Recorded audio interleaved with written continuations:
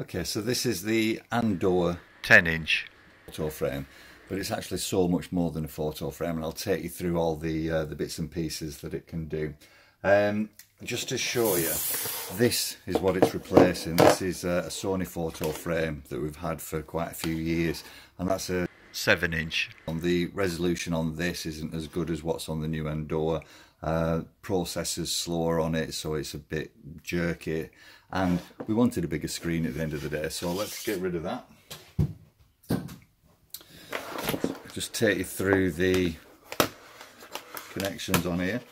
So if I take out the USB stick and take out the SSD card, which are options that you've got for putting um, for putting files on there.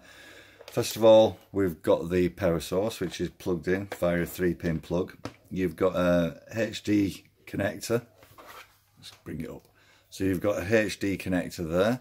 You've got your USB connector and you've got your SD card. So let's pop the SD card in.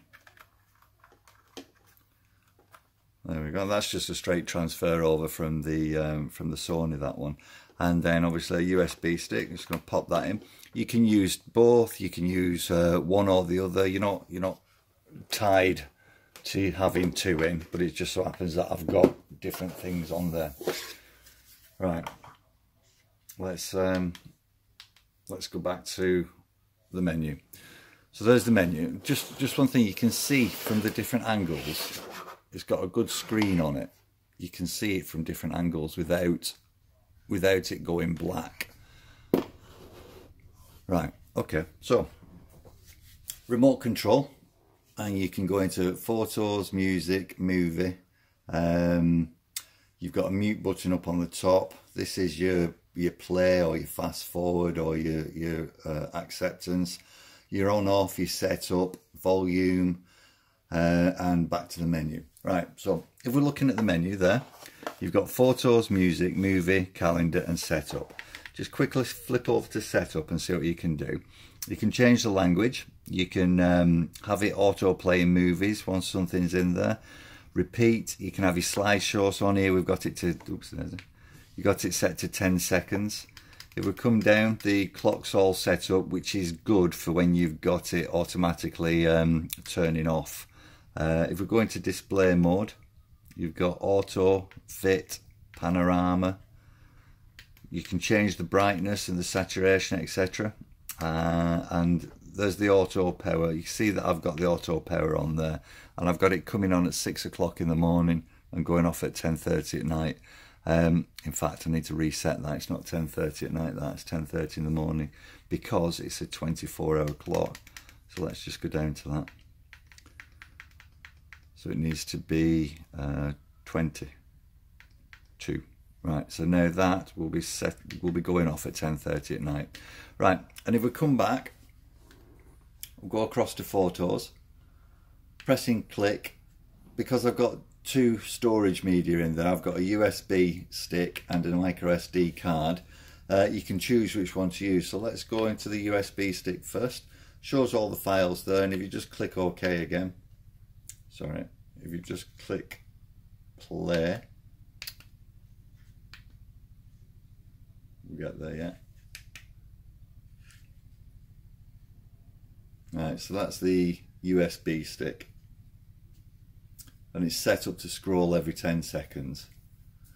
So there should be one coming up now. There you go. Or you can use your um, you can use your remote control to just go on to the next one, and find out which the and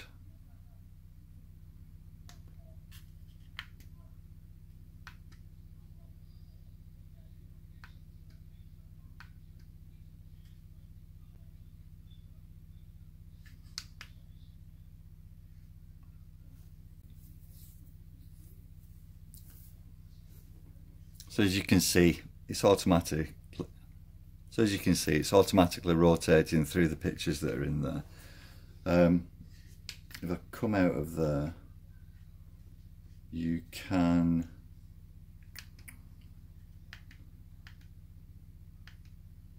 you can turn the auto play off or have it set to whichever you want to autoplay when, when it switches on. Um, I'm going to just turn the autoplay off though.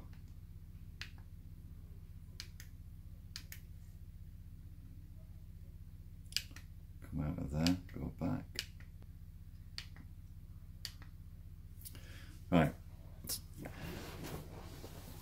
Surprisingly, for such a small device, it actually packs uh, a fair bit of power when it comes to the volume. Now, I think the reason for this is, so as you can see, you've got this which helps it stand up, yeah, and it also helps it, also helps it stand up when you've got it in portrait mode like that. But if you were to take that off, you've got your VESA bracket screws there which means that you can use this for um, for an advertising uh, television in a store, for example. You've got all your controls on the back, so you don't need the remote control.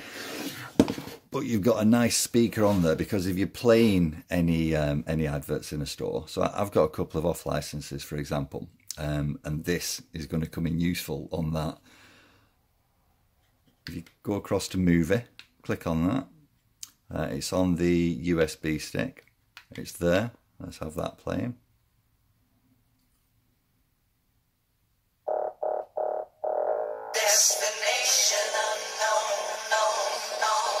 I'll just pause that for a second while I go through.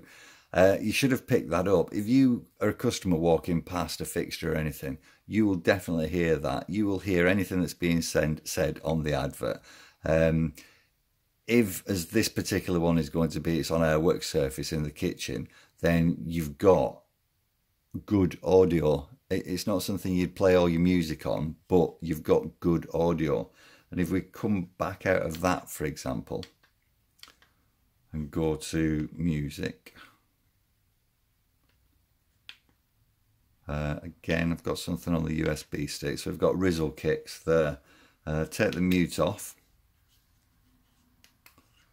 and play.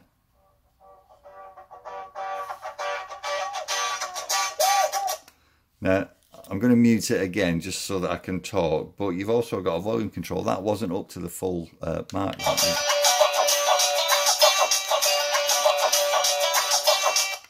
So as you can see, that was only half up on the volume. Now we're up to full, and, um, and I'll switch it back on so you can hear it one more time.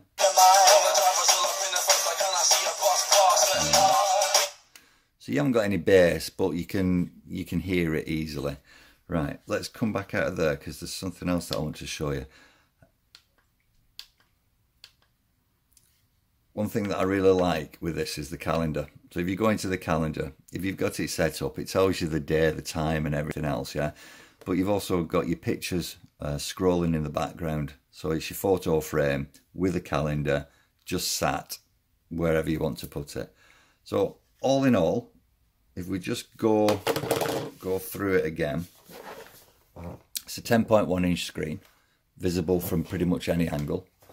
You've got um, USB, SSD, and HD. There's your power source, obviously. This screws off if you want to mount it on a wall, but it's used for portrait or landscape mode.